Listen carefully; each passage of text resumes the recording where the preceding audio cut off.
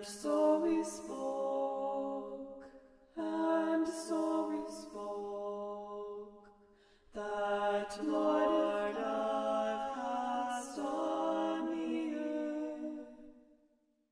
But now